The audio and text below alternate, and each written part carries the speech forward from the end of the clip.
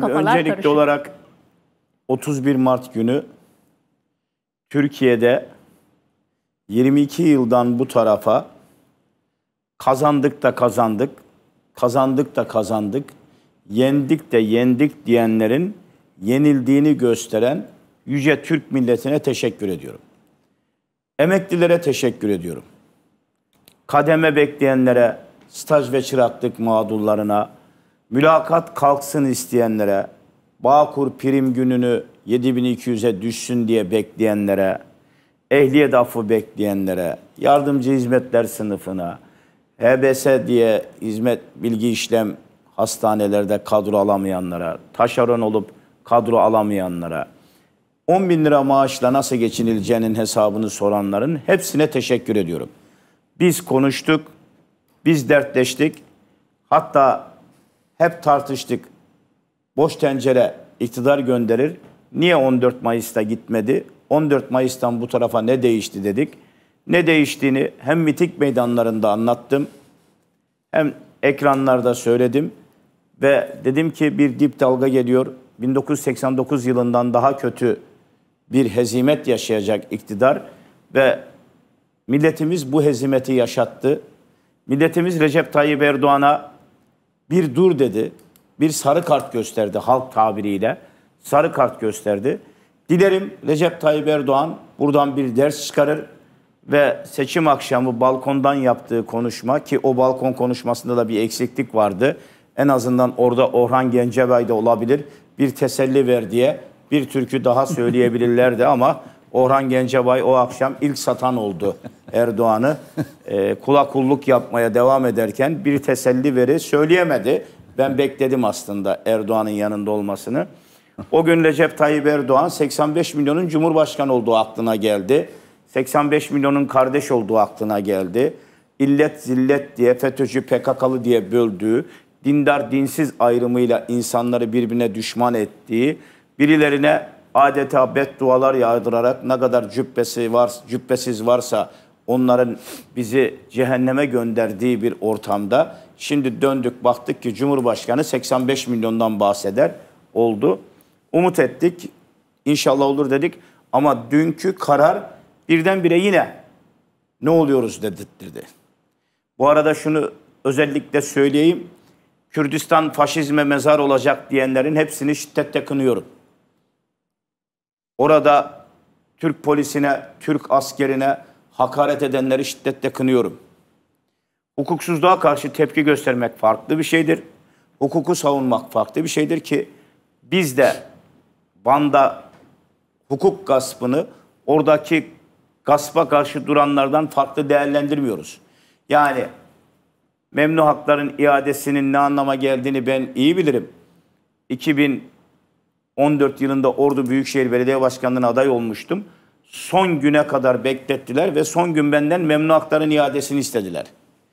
Ne zamanki memnu hakların iadesini 40 yıl önce 12 Eylül döneminde 3,5 yıl hapis yatmışım, çıkmışım, milletvekili olmuşum, aday olmuşum ama ona rağmen benden memnu hakların iadesini istedilerdi.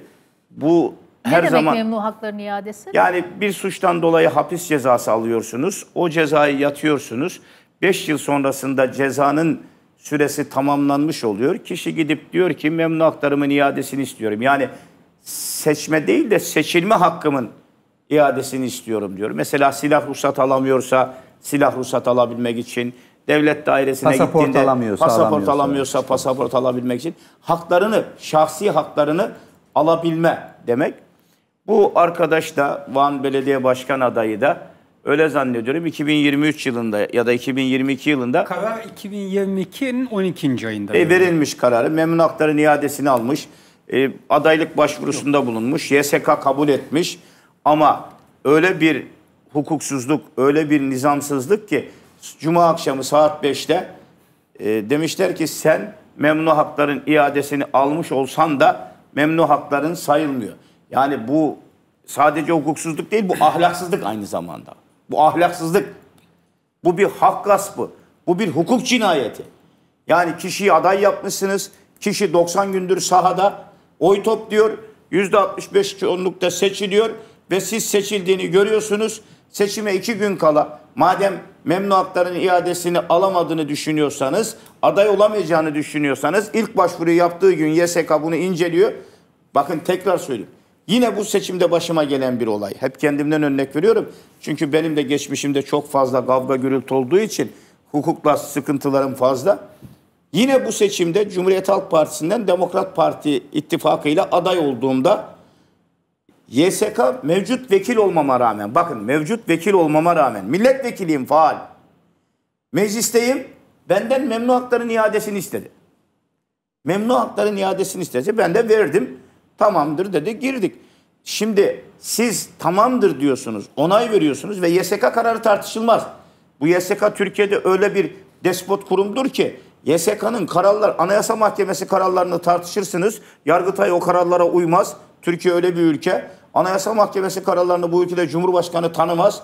Anayasa Mahkemesi'nin kapatılması istenebilir bu ülkede. Ama YSK kararları asla ve kata hiçbir şekilde sorgulanamaz, tartışılamaz ve uyulmazlık diye bir şey söz konusu değildir. YSK karar vermiş, aday yapmış kişiyi bir mahkeme tekrar diyor ki hayır bu arkadaş aday olamaz memnu hakların iadesini. O zaman hemen aklıma geldi, endişelendim. Türkiye'nin birçok yerinde de şu an 3 gündür süren hukuksuzluklar var. Mesela Ordu'da İyi Parti... Ordu'ya gelmeyelim Cemal Engür çünkü e, Hasan Sınar'a da soracağım. O zaman bunu tamamlayayım. Ha, yani Van'ı. burada e, Van üzerinden ben iktidar acaba yeni bir şey mi deniyor diye endişelendim.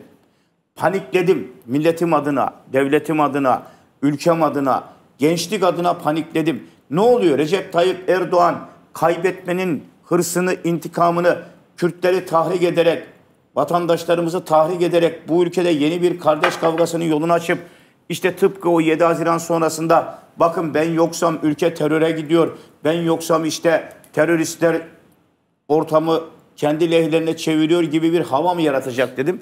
Ama e, gördüğüm şu ki e, YSK bunu an itibariyle iptal etti. Bence doğru bir karar verdi. E, karar doğruydu çünkü ülke büyük bir gerginliğe gidiyordu. Bir hukuksuzluğun neticesinde belki de Türkiye'nin her yerine yayılabilecek bir hukuksuzluk neticesinde olaylar çıkabilirdi. Kaos belki? İnşallah bundan dönüldü. Hani Recep Tayyip Erdoğan'a tavsiyem şudur. Yani e, artık millet sana dedi ki 4 yıl bu ülkeye cumhurbaşkanlığı yap. Biz yerel seçimlerde görevimizi yaptık. Sana bir sarı kart gösterdik. Sen de dön bundan sonra 10 bin lira. Yani Recep Tayyip Erdoğan bundan sonra kayyumla niye uğraşıyor ya? Van'da, Diyarbakır'la ne işin var? Emekli 10 bin lirayla geçinemiyor işte. Çık bunu artık düzeltmeye bak. Yani Brent petrolün varlığı 86 dolar oldu bugün. Yani önümüzdeki günlerde zam geliyor tekrar akaryakıta. Bunları düzeltmesi gereken Recep Tayyip Erdoğan e, inşallah bu tür şeylere tevessül etmez. Hem ülkemiz açısından hem milletimiz açısından kötü sonuçlar doğurur. Ben YSK'nın kararını kutluyorum, tebrik ediyorum. Ama kutlamadığım, tebrik etmediğim kararları da var. Onu da biraz ileriki e, saatlerde konuşuruz biraz sonra. Şimdi bu Ama Esas söylemek ama şey- istediği çok Buyurun. önemli. Mesela Dikili Belediyesi'ni 4 yıl belediye meclisinden seçilenler yönetti değil mi? Birçok belediyeyi Türkiye'de belediye başkanlığı düştü. Belediye meclis üyeleri belediye başkanı seçti. Doğru. Burada AKP iktidarı kayyum atayarak belediye meclisinin demokrasiye dinamit atıyor. Yani burada mesele dem değil. Benim dem hiç umurumda da değil. Burada mesele demokrasi. Burada mesele hukuk. Burada mesele hakikaten anayasal haklarımız. Bugün bana, bugün ona, yarın bana fark eden bir şey yok. Yani şu an Türkiye'nin birçok yerinde de bu yapılıyor. Yani Süleyman diye bir e, eski Süleyman Gazi Osman Paşa'ya gidiyor. Hakime hanım ayağa kalkmadı diye beni gördün niye ayağa kalkmadın diye ama o da ne cevap Efeleniyor. veriyor? O muhtiş cevap veriyor. Tebrik ediyorum. Allah ondan bin kere razı olsun.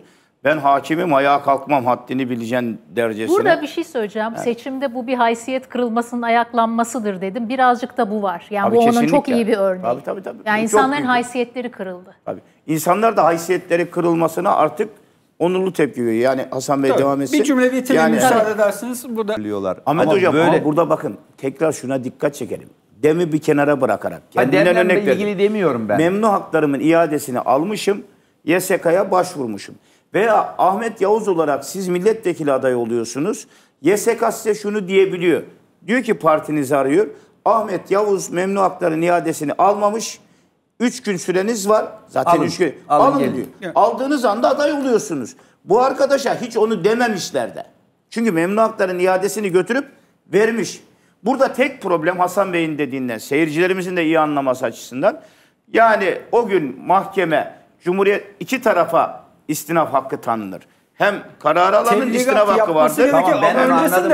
Ben onu zaten anladım. süre koşulu gerçekleşmediği için Sayın talebi hocam. reddetmesi. Sayın hocam ben Yapmamış. Onu, ben onu anladım. Burada bir hukuki problem var. Evet. Ee, onu anladım ama mesela bana birisi Yani siz bir dem hak- de mi kötü niyetli olabilir burada Size parti demez Ahmet Başkanım. Ben- Tekrar söyleyeyim. Size parti söylemez. Memnu hakların iadesi var mı diye.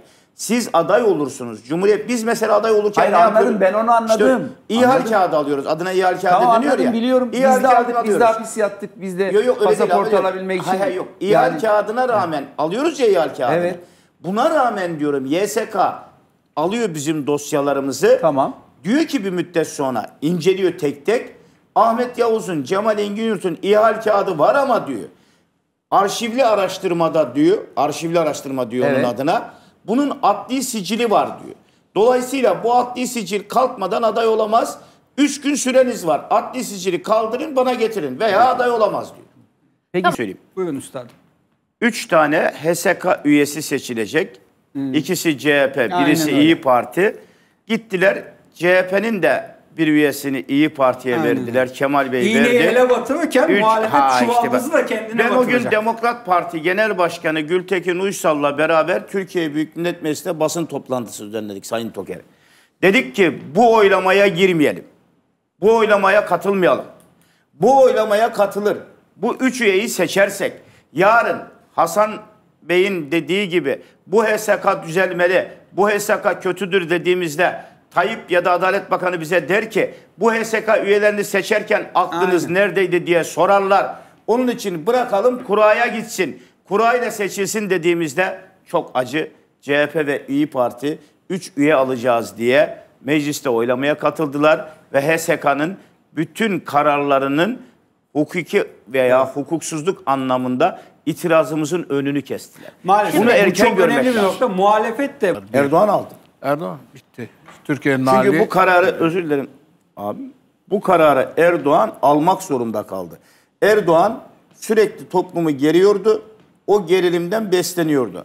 Ama bu sefer baktı ki gerilim sadece Van'la, Güneydoğu'yla kalmayacak. Gerilim bütün ülkeye yayılacak. Bunun altından kalkamayacağını gördü ve geri adım attı. bir şey Ben özür dilerim şöyle diyorum. Bizim Ordu İyi Parti Büyükşehir Belediye Başkanı adayı Enver Yılmaz eski AKP belediye başkanıdır. E, iki gündür mücadele veriyor. Hırsızlık var diye. Adam haklı. AKP en iyi utanıyor. 20 yıldır AKP'de. 15 yıla yakın vekillik yaptı. 5 yıl yani belediye başkanlığından aldı Erdoğan ama 4 yıla yakında belediye başkanlığı yaptı. İki gündür Sayın Başkan'ın dediği gibi Pınarbaşı'ndaki seçimi erteleme kararı veriyor. Enver Yılmaz diyor ki Türkiye'de iptal edilen geçersiz oy sayısı yüzde üç, bizim orduda yüzde altıymış. Bakın Türkiye'de yüzde üç, orduda yüzde altı geçersiz değil mi? geçersiz oy. Ha, Cem- Yalnız Cemal Ben şu var. Buradaki itirazda şu var. Burada eee, mesela Enver Yılmaz'ın üzerine ikinci mühür vuruluyor. Yani dışarıdan bir oy değil. Yani Enver Yılmaz'ın iddiası Enver Yılmaz'ın İyi Parti'ye mühür vurulmuş. İkinci bir mühür vurulunca haliyle Geçersiz işaretli oy sayılıp de- geçersiz. Yani Ama şimdi bu mesela bu nedir? Şeydeki mühürlerin bir kısmı kırıkmış da torbada bilmem ne Ama falan. işte bak ya. Sayın Cumhurbaşkanı söylemiş, Sayın Toker hatırlattı.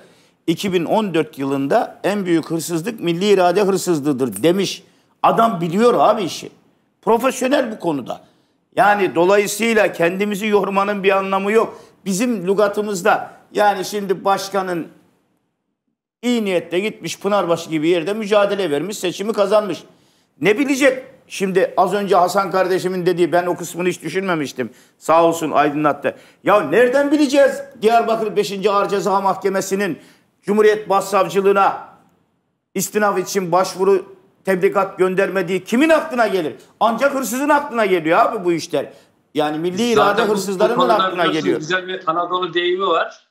Ee, ne diyor? Ee, cami minareyi çalan kılıfını hazırlar. Ya Yani bunlar bunları kılıf ne? yaparken Çadır hazırlıyor minareye ya. Bunlar minareyi kılıfı bırak çadır hazırlıyorlar kılıfı minareye. Zaten e, Aslında bu seçim genel itibariyle bu gidişata dur demesi. Son Abi vermek Gazi için. Osman Yani Paşa'da anlam Ahmet esas Hocam, anlamı bu. Ha bir de Gazi mesajı Osman, aldık bakın. dendi. Yani mesajı aldık değil mi? Aldık o konuşmada dendi, evet. mesajı aldık Edemiyorlar. dendi. Gazi Osman Paşa'da e, Gazi Osman Paşa'da itirazı reddediyor. e, Ece- İtirazı kabul ediyor Gazi Osman Paşa'da. Evet. Fatih'te, Pendik'te Ama Fatih'te, Pendik'te diyor ki gerek yok. Kim diyor bunu?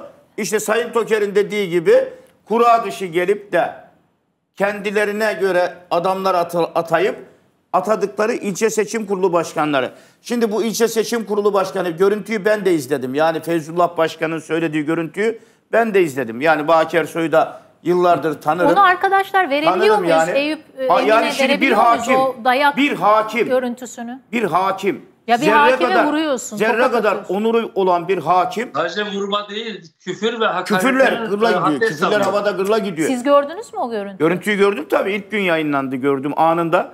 Yani bir hakim düşünüyorum abi nasıl bu kadar hakarete, bu kadar küfre, bu kadar saldırıya karşı hem Hakim dava değilmiş. açmaz, dava Hakim, açmıyor. hakim değilmiş demek. Abi dava O açmıyor. Ahmet Süleyman. Soylu'nun karşısındaki Adam- kadın Abi, hakim yapmış. Ders almışlar mı? Ne dersi ya? Ne kadar trolü varsa şu Deniz Zeyren ifadesiyle hakikaten sığır besleseler daha iyi olacak. Ülkenin et problemi çözülecekti. Yani eskiden CHP için söylenirdi seçmeni aşağılıyor diye değil mi? Karnını kaşıyanlar falan.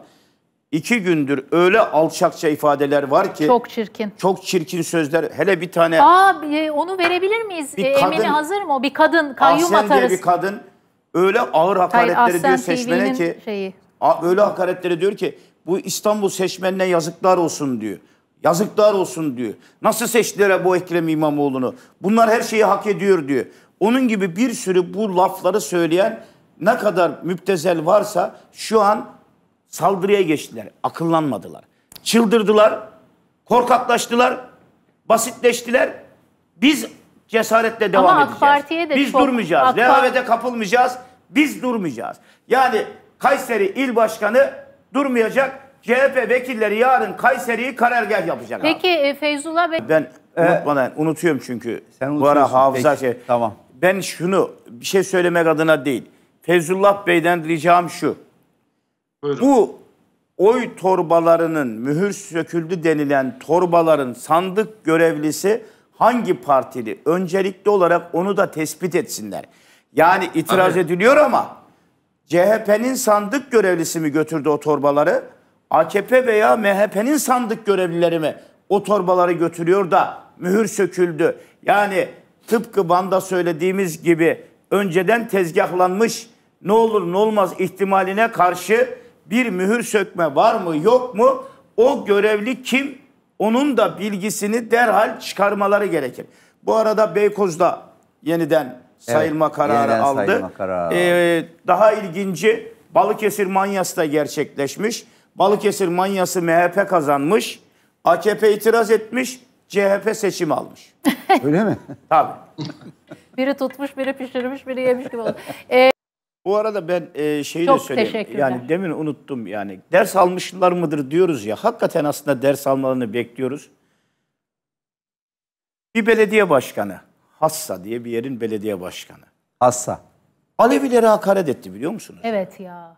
Evet. Dedi ki yazıklar olsun Alevilere dedi ya. Hesabını soracağım Alevilerden dedi ya. E Balıkesir'de de şey dedi Balıkesir'de ya eski başkan. eski Kurt kışı başkan, geçirir ama yediği ayazı, Ayazı unutmaz, unutmaz diye. dedi. Ya bir de tehdit diline başladılar biliyor musun? Hay bayağı Alevilere Alevilere ya. hakaret ediyor ya düşünebiliyor musun? Alevilere yaşam hakkı tanımayacağını söylüyor. Lan oğlum sen kimsin lan? Kimsin lan sen? Hassa Belediye Başkanı. Her tarafın başkan olsa ne yazar? Aleviler Anadolu. Aleviler Türkiye. Aleviler Çepni, Yörük, Kıpçak, Türkmen, Alevi, Anadolu Türktü. Sen kimsin? Nasıl böyle bir ifade kullanabiliyorsun? Yazıklar olsun adamlığınıza. Yazıklar olsun insanlığınıza. Seçim diye bir toplumu, bir milleti böylesine aşağılık bir şekilde böler parçalar mı ya? zıvanadan çıktılar ya. Aleviler olmasa Cumhuriyet yaşamazdı dediğim için bana da Alevi diyorlar şimdi. Bu arada Abi ben bir şey Alevi olmaktan söyleyeceğim. onur duyarım. Ben de onur ben duyarım. gurur, ben Olsam- Çepliyim. olsam duyarım Ben yani. Çepliyim. Çep, Oğuz'un Çepli boyundanım. Çepliler Hacı Bektaşi Veli, Ahmet Yesevi, Gümüşhane'nin Kelkit ilçesinin, şey Kürtün ilçesinin Taşlıca köyünde Güvenç Aptal ocağını kurmuş. O ocağın mensupları bizim Gürgendepe ilçemiz Ağızlar köyünde orada ikinci ocağı kurmuş. O ocak Anadolu'da Karadeniz'de tütmüş. Biz o ocak sayesinde Türklüğümüzü, biz Korumuşsunuz. geleneğimizi, göreneğimizi korumuşuz. Sahilde kalanlar Bektaşilik yerine Sunniliği tercih etmiş. Yukarıya çıkanlar Bektaşiliği korumuş. Başımız üstünde yeri var. Ve ben hep söylüyorum. Benim kızım herkesin kızı canıdır. Kız çocuğu bir başkadır. Benim oğlan ayda bir kere arar beni. Kızım her akşam arar Allah razı olsun. İlacını içtin mi diye. Çok severim. Kızımı bir Alevi'ye verdim ya. Pırıl pırıl bir Alevi gencine verdim ya. Ve bundan da çok mutluyum. Onu da seviyorum. Ay pırıl Ailesi pırıl bir Alevi var. genci fazla oldu. Alevi deyince pırıl pırıl. Çoğu çok yani bence Pırıl hepsi pırıl. çok aydın Ay, ay, ay, insanlar. ay. Hayır benim gelinim de Alevi. Çok Hiç aydın kimseye insanlar. değişmem Hiç yani. öyle bir de Hiç ki ben de Şimdi böyle hakikaten bir şey var kimseye mı? değişmem Ama Alevi. adam bakın ne yaptı biliyorsunuz? Ne diyor? Alevilerden bunun hesabını soracağım. Çok Çılgınlığa bakın ya. Çıldırmaya bakın. O Ahsen TV denen. Ya savcı hakim neredesin ya? Neredesin? Cübbe size bir laf dedim diye dokunulmazlığı meclise kadar gönderdin. Jeliboncu deliye iki laf ettim diye dokunulmazlığı meclise kadar gönderdin. Sedef Kabaş bir atasözünü söyledi diye 45 gün devleti milleti bölmeye, parçalamaya, kin, nefret tohumu saçmaya sebep oldu diye tutukladın. 2 yıl 7 ay verdin. Ya bu Ahsen TV aşağılıyor aşağılıyor savcı. Bu Ahsen TV'deki kız milleti birbirine düşman ediyor ya. Neredesin savcı? İlla suç duyurusunda bulunsam, e bulunsam ne yapacak ya? Ya işte hep konuşuyoruz. İlçe seçim kurulu. Tebrik ediyorum. Doğru diyor. Eskiden en yaşlı hakim, en kıdemli hakim olurdu. Kıdemli hakime de gitsen bile umruna gelmezdi. Emekli olacağım çok çok da derdi. Siyaset, miyaset dinlemez. Hukuk neyi emrediyorsa, kanun neyi emrediyorsa onu yapardı. Şimdi 25 yaşında çocuğu getirmişsin. Ordu İl Seçim Kurulu'nun, ilçe seçim kurulunun başına koymuşsun. İyi Partili Büyükşehir Belediye Başkanı adayı itiraz ediyor. Birçoğunda saymıyor, kabul etmiyorsun. Beykoz'da red vermişsin dün, sayılmasın demişsin. Bugün sayılsın diyorsun. Ama Fatih'te sayılsın diyene red veriyorsun, sayılmasın. Pendik'e red veriyorsun, sayılmasın. Niye? Çünkü 25 yaşında.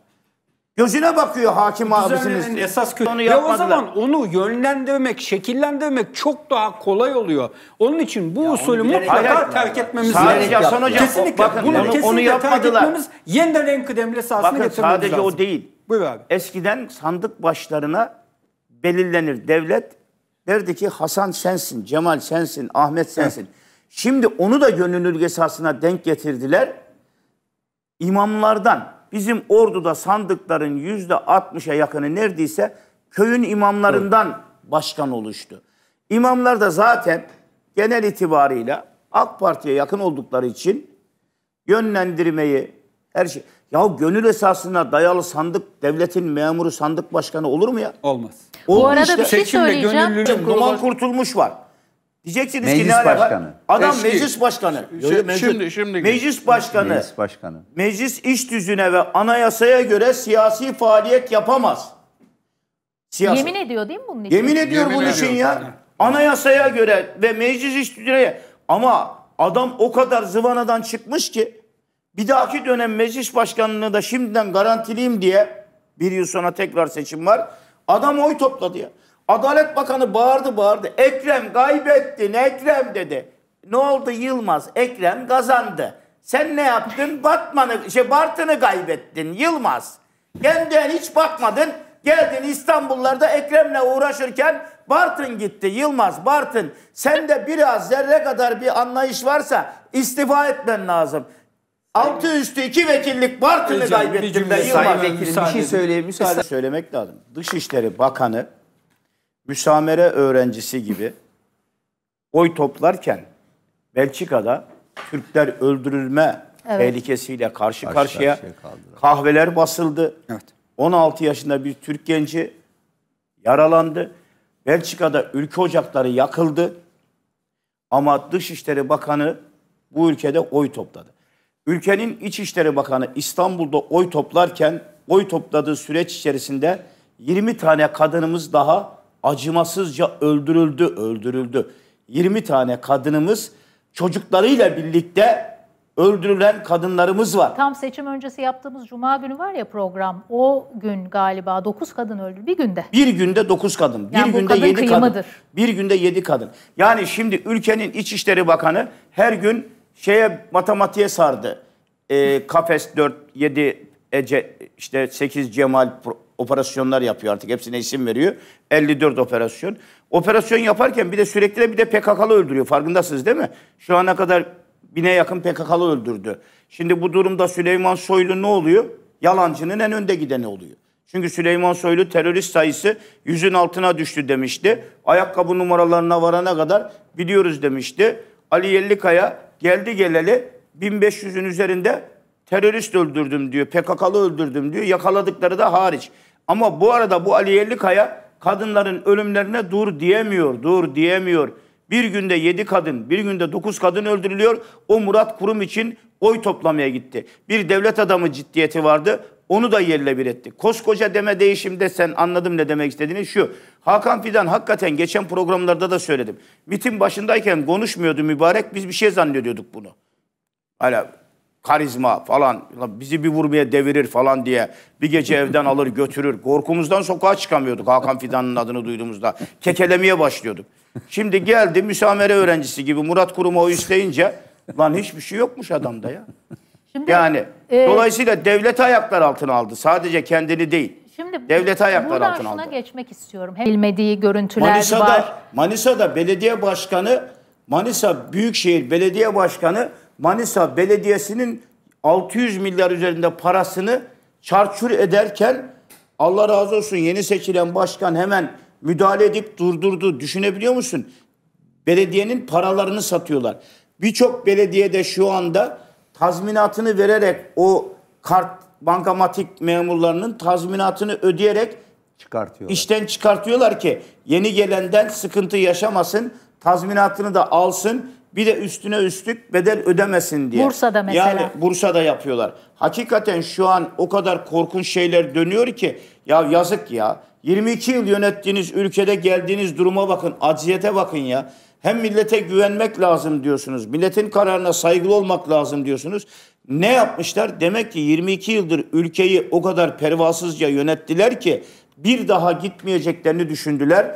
Geldik artık her yer bizim dediler ve şu an bedelini ödüyorlar. Daha bu e, ne ki yani hakikaten e, Türkiye'nin her yerinde öylesine pis kokular var ki mesela bizim Ordu Büyükşehir Belediye Başkanı e, Ordu'da Enver Yılmaz için hırsız diye açıklama yaptı.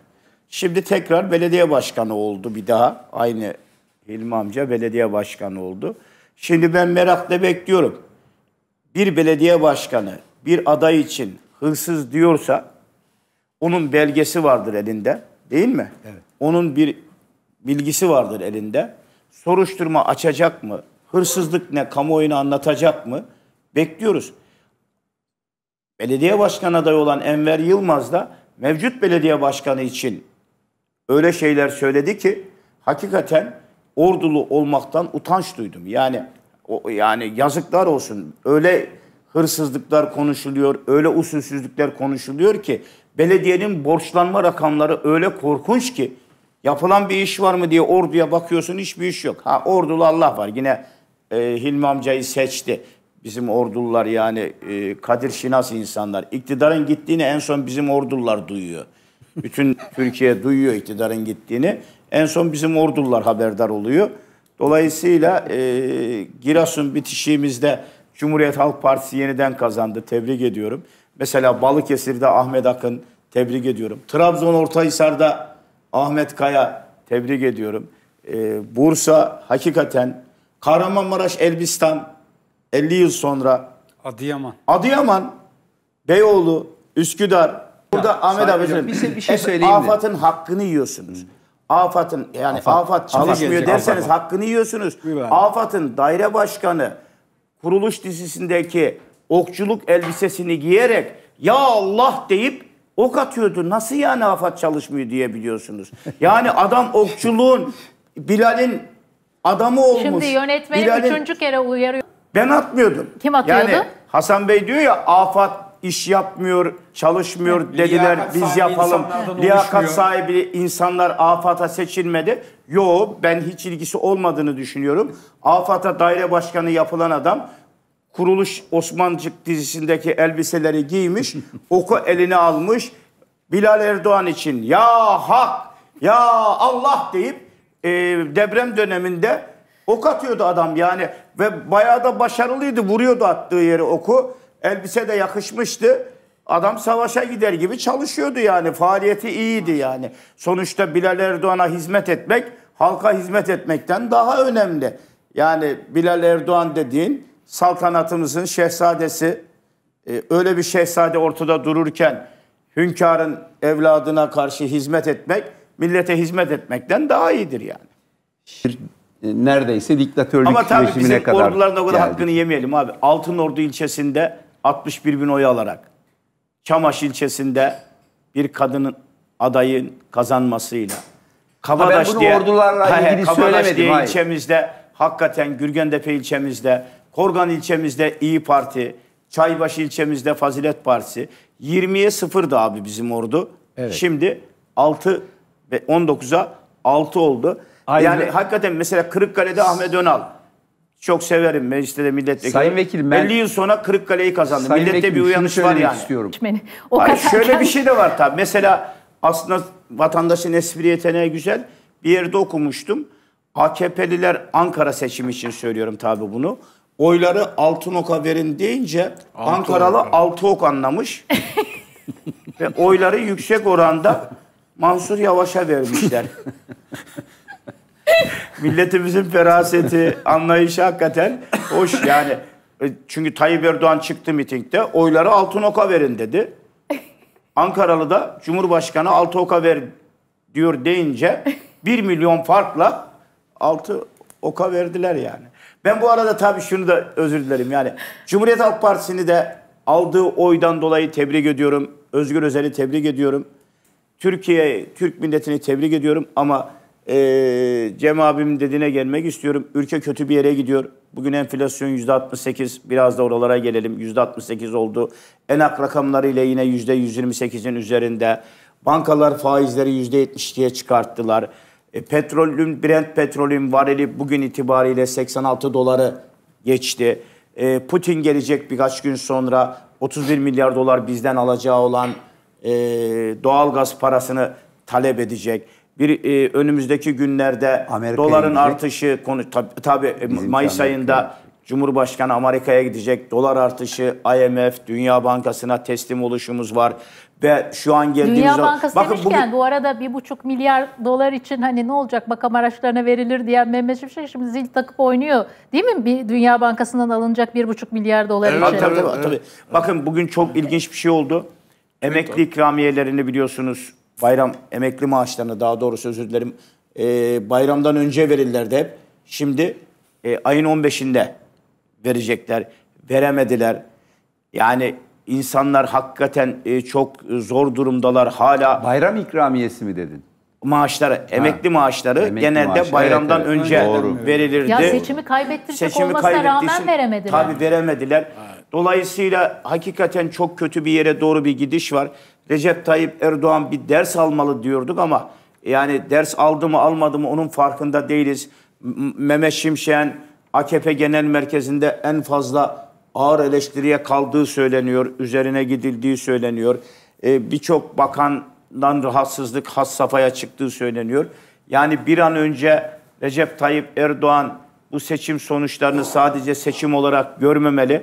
Hani dedi ya balkon konuşmasında e, asli işimize dönmeliyiz dedi. Asli işi devleti yönetmek, asli işi ekonomiyi düzeltmek, emekliler bir ders verdik diyor. Karşılığında Recep Tayyip Erdoğan'ın titreyip kendine dönmesini bekliyor. Ama Recep Tayyip Erdoğan hala bir titreme geçirmiyor. Herhalde yaz erken geldi. Bir türlü titreyemiyor bahar geldi diye. Bu arada eşiyle e, şeye geçecekmiş tatile Muğla anladığım kadarıyla. Çok yoruldu. Geçmesi lazım. Günde 6 tane miting yaptı. E, dinlenmesi gerekiyor. E, o dinlenme sırasında da tavsiyem şu ki emekli hakikaten kötü. Kiralar kötü. Bakın 3 gündür 4 gündür orduda da geziyorum seçim dolayısıyla. Seçim sonrasında da sokaktayız yine. İnsanlar e, büyük bir endişe içerisindeler. Tayyip Erdoğan'ın düzelmesini bekliyorlar. Ülkenin düzelmesini bekliyorlar. Kendilerinin yani haklarının, sosyal haklarının düzelmesini bekliyorlar. Bence çok bekler. Yani kademeli çok bekler. kademeli emeklilik bekleyen diyor ki artık meclise getireceğini söylesin. Bağkur esnafı diyor ki 7200 prim gününü açıklasın.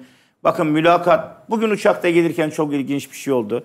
Bir hanımefendi arka koltuktan yanıma geldi. Ee, sayın vekilim bir şey söyleyeceğim. 96 aldı kaymakamlıktan dedi. Çok yakınım. Hakikaten fakir, yoksul bir ailenin çocuğu. Kaymakamlık KPSS sınavından 96 aldı dedi. Ama mülakatta elediler Mülakatta. dedi. Ne olursunuz yardımcı olabilir misiniz dedi. Bir şey diyemedim. Çünkü ben o çocuğa ne diyebilirim? Yani Recep Tayyip Erdoğan ve adamlarına ben desem ki bu beyaz desem onlar simsiyah çevirirler bir, onu şey, yani. bir konu daha var. Ya seçimlerden önce baktım. Ekrem İmamoğlu'nun kent lokantasının kapısında sıraya giren amcalara, teyzelere soruyorlar. Oyu kime vereceksin diyorlar. Murat Kurum diyor. Yine soruyor ya diyor 40 liralık yemek yemek için kuyruktasın. Dört çeşit 40 lira. Dört çeşitte yemek yiyeceksin ama Murat Kurum diyor. Diyor olsun Erdoğan'la ilgisi yok bu işin diyor. Yani toplumu da aslında dönüştürdüler. Sizin dediğinize katılıyorum. Ya İtiraz enflasyonu etmedik. Allah yaptı Erdoğan Tabii, yapmadı tabii. diyen Sizin dediğinize katılıyorum. Hocam yani tamam itiraz etmedik, itirazlar edilmedi. Mesela ben hep bunu şeyle ilgili derim. 99 yılında yeni milletvekiliyim. 8 Eylül 1999. 4447 sayılı bir yasa geliyor meclise. Yaşar Okuyan Çalışma Bakanı. Kabul edenler etmeyenler yasa kabul ediliyor. Aradan 20 yıl geçiyor. 15 yıl geçiyor. EYT diye bir şey çıkıyor. Milletvekili olmuşum. Herkes bana geliyor. Diyor ki bu çok yanlış. Ya arkadaş yanlıştı da 99'da neredeydiniz? Bu yasa çıkarken niye tepki göstermediniz? Niye hak aramadınız değil mi? Yasa çıkıyor. Yani millet olarak artık öyle bir dönüştürüldük ki abi. Hakikat mesela bakıyorsun ya e, insanlar çok en temel haklarını bile ararken artık korkar hale gelmiş. Ya da menfaate dayalı. Ya bakın az önce söylüyoruz işte konuşuyor. O Ünye ilçe seçim kurulu İyi Parti'nin sandıklar sayılsın başvurusunu reddetmiş. Şimdi onu gören diğerleri de reddedecek. Şimdi Ünye'de İyi Parti'nin başvurusunu reddediyorsun ama Beykoz'u kabul ediyorsun CHP'ninkini. Beykoz'da CHP'ninkini. Gazi. Osman Paşa'yı kabul ediyorsun. Ama biz tepki göstermiyoruz. Şimdi Van'da, Van'da başa dönersek atılan sloganları şiddetle kınıyorum. Dem Parti ile ilgili olmaksızın asla Dem Parti adına söylemiyorum. Bir hukuksuzluğa karşı insanların sokağa çıkması asla ara- araç yakmadan değil mi? Cam çerçeve kırmadan, Şiddete başvurmadan. şiddete başvurmadan demokratik haklarını araması bir netice aldı değil mi abi?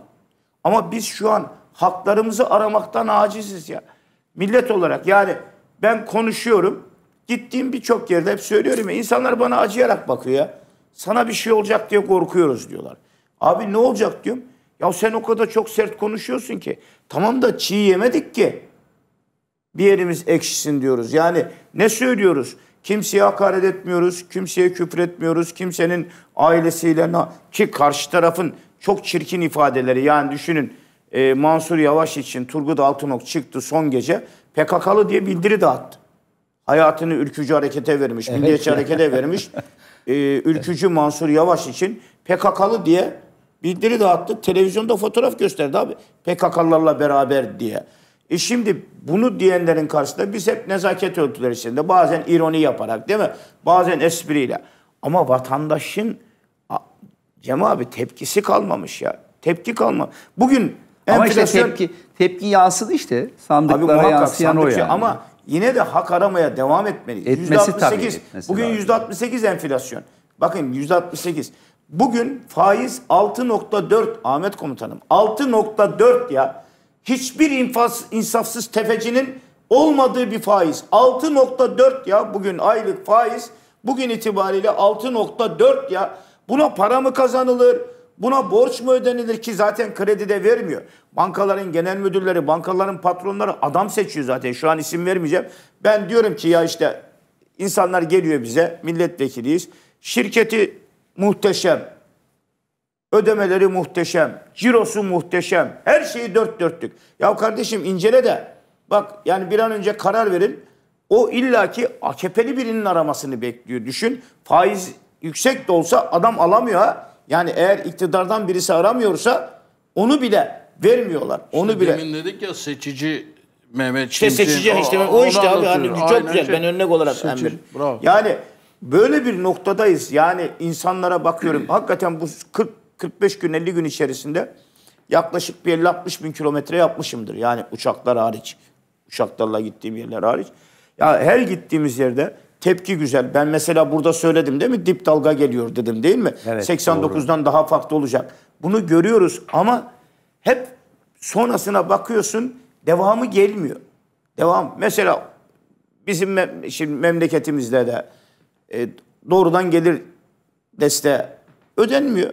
Ödenmesi gerekiyor Mart geldiğinde çünkü gübre alacak, ilaç alacak, verilmiyor. İşte Hatay dört yola gittim. Narenciye ağaçta duruyor, çürümüş. Toplayamamış, iflas etmiş. Nerede ziraat odaları abi? Yani hep siyasetçi mi konuşacak? Bu ziraat odaları birliği nerede? Bu çiftçiden ÇKS parası alıyorlar, üye aidatı alıyorlar. Bundan 10 yıl önce iyi hatırlıyorum 15 yıl önce Ordu'da 100 bin kişilik miting yapmışlardı. Sonrasında da %65 vermiştik AKP'ye biz ordular olarak. Yani 100 bin kişi fındık protestosu yaptık, miting yaptık. Arkasından da 6 ay sonra seçimde de %65 verdik. Yani öyle de Kadir Şinas bir memleketiz biz. Ziraat odaları nerede? yiyorsunuz ama Esnaf odaları nerede abi? Bakın esnaf esnaf iflas etti abi. Esnaf vallahi iflasta. Esnaf, Bakın evet. üç gündür şehirde seçim bitti. Geziyorum esnafa bir teşekkür için. Ya siftah yapmıyor abi siftah. Bağkur primi 6 bin lirayı geçmiş abi. Ödeyemiyor ya. Bağkur primini ödeyemiyor. Diyor ki şunu 9 bininden 7 bin 200'e düşürsünler. Zaten 8 bin gün ödedim diyor. Emekli olmayı düşünmüyorum diyor. Şu primden kurtulayım diyor ya. Şu primden kurtulayım diyor ya. Ama nerede esnaf odaları? Bu esnaf odaları bunlardan aidat alıyor. Para alıyor bunlardan abi. Sivil toplum örgütlerinden de ses çıkmıyor. Dolayısıyla böyle bir ülkede Tayyip Erdoğan kibrinden nasıl taviz versin?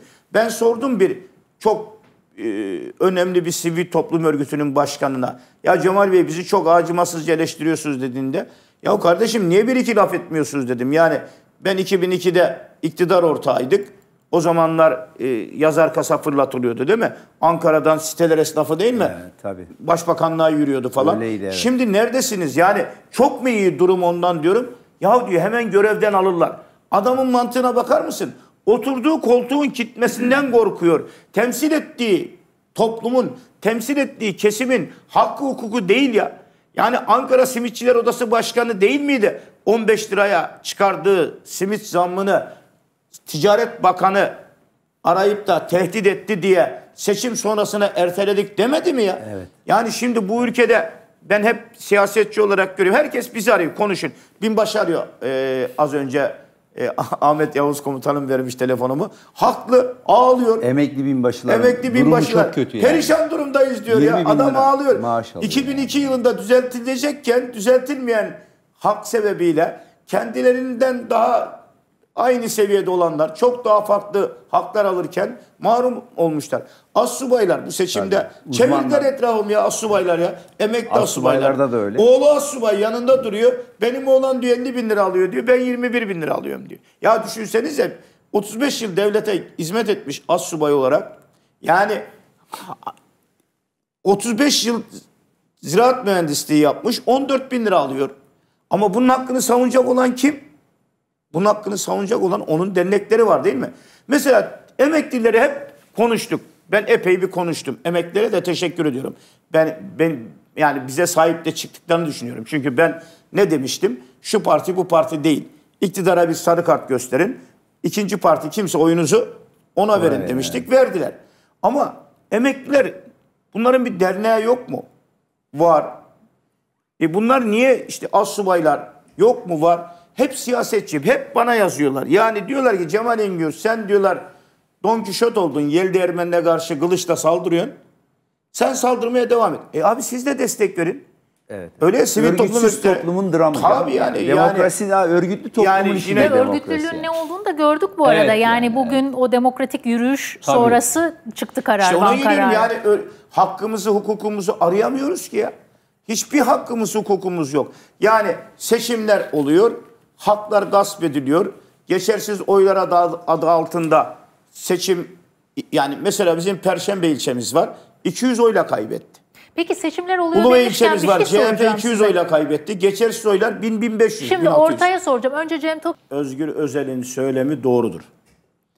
Erken seçim diye ortaya çıkarsanız bu bir şımarıklık anlamına gelir. Millet şu anda ben net şunu söyleyeyim. Millet Recep Tayyip Erdoğan'a şunu dedi. Benim okumamı söylüyorum. Seni Cumhurbaşkanı seçtik 14 ve 28 Mayıs'ta. 4 yılda ülkeyi yönetecek olan sensin. Ama sen yoldan çıktın. Sen kibre bulaştın. Sen egolarının esiri oldun. Sen beni görmezden geldin. Sen milletten uzaklaştın. Sen sokağın sesini duymadın. Ben sana kendimi hatırlattım. Bu hatırlatmayı sadece bir şefkat şamarı olarak gör. Sana bir şefkat tokatı vurdum.